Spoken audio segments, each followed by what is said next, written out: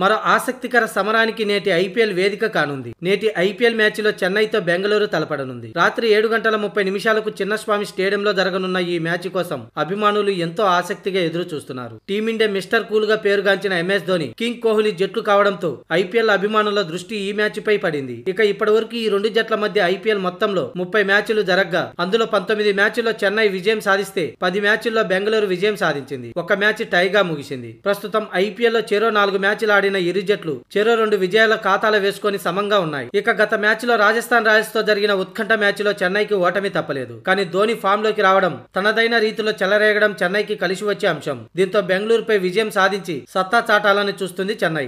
ఇక బెంగళూరు విషయానికి వస్తే ఢిల్లీలో జరిగిన గత మ్యాచ్లో విజయం సాధించి జోరు మీద ఉంది. అదే జోరు కొనసాగిస్తూ చెన్నైపై కూడా సత్తా చాటాలని ఆర్సీబీ చూస్తుంది. ఇరు జట్ల బలాల విషయానికి వస్తే Devon Conway Rahane Jadeja MS Dhoni మంచి ఫామ్లో ఉండడం చెన్నైకి సానుకూల అంశం. ఇక బౌలింగ్ లోను చెన్నై రాణిస్తే తిరుగుండదు. ఇక ఆర్సీబీలో Virat Kohli captain du Plessis ఫామ్లో ఉన్నారు. వీరికి తోడు మ్యాక్స్వెల్ లోమురర్ వంటి హిట్టర్లు కూడా ఆర్సీబీ జట్టులో ఉన్నారు. మరి అన్ని విభాగాల్లో సమవుజ్జిగా ఉన్న ఇరు జట్లలో విజయం ఏ జట్టును వరిస్తుందో చూడాలి. ఇకపోతే ఈ మ్యాచ్లో చెన్నైలో ఒక కీలక మార్పు చోటు చేసుకునే అవకాశం ఉంది. లాస్ట్ రెండు మ్యాచ్లకు దూరమైన బెన్ స్టోక్స్. తిరిగి ఈ మ్యాచ్ కోసం అందుబాటులోకి వచ్చే అవకాశం ఉంది. చిన్నస్వామి స్టేడియం బ్యాటింగ్కు అనుకూలించే పిచ్చి కాబట్టి బ్యాటింగ్ విభాగాన్ని బలోపేతం చేసేందుకు చెన్నై కీలక నిర్ణయాలు తీసుకోనుందని తెలుస్తున్న సమాచారం. ఇక ఆర్సీబీ ఎటువంటి మార్పు మార్పులు లేకుండానే గత మ్యాచ్ ప్లేయింగ్ ఎలెవెన్తోనే బరిలోకి దిగనుంది.